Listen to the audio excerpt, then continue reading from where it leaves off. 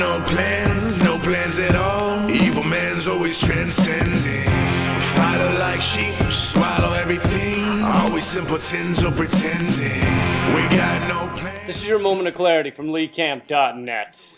Alright, you've probably heard mentions of the LIBOR banking scandal, unless you're in America where coverage of the LIBOR scandal has been preempted for coverage of Tom TomKat's divorce. See, we combined the name Tom Cruise with the name Katie Holmes and made the word TomKat!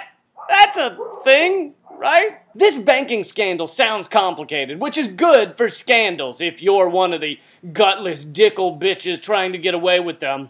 LIBOR sounds like the name of an alien villain in the fifth element, but this obscene scandal is less confusing than it sounds. LIBOR stands for London Interbank Offering Rate. It's a key lending rate calculated every day by asking the big banks what rate they're using to loan money to each other. That rate affects hundreds of trillions of dollars of consumer lending, everything from mortgages to student loans to the price of a prostate exam done for business or pleasure. That rate affects tons of shit, kind of like the size of an inch or a meter affects measurements across the world, or the way science affects Christians, even when they say they don't believe in it. You can say you don't care about LIBOR, but it's still fucking up your mortgage. And it turns out that LIBOR has a fatal flaw in it.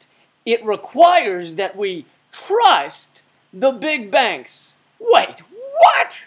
You see, the agency calls up the big banks and says, What are your rates? And the banks are expected to tell the truth. Are you fucking nuts? And it turns out they have not been telling the truth.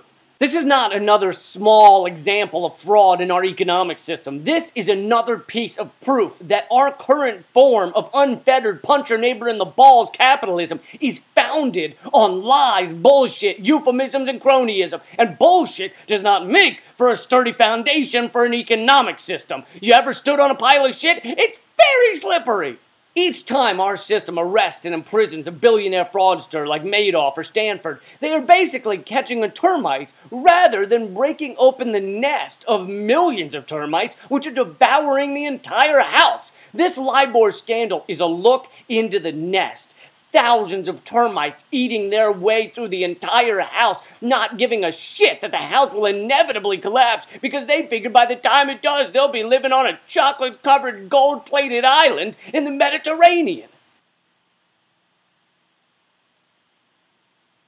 I'm feeling kind of empty about that last analogy. I, I, I, don't, I don't feel like it does it justice. Termites is too kind for this sack of blood-sucking, bank-robbing, loan-rigging genital blisters. They are flesh-eating bacteria who make life-sucking diarrhea look like a good thing. They make billions of dollars, but they are utterly morally bankrupt. And the only way this system could ever work is if they are trusted as much as a bull in a china shop or a priest in an orphanage or a guy with a foot fetish in a shoe store or the human torch at a gas station. They have shown again and again and again how little we can trust them. The only question now is when exactly we'll get tired enough of it to tell them to go fuck themselves.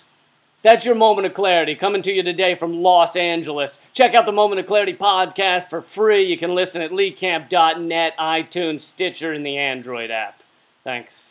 Plans, no plans at all. Evil man's always transcending. Like sheep, swallow everything. Always or pretending.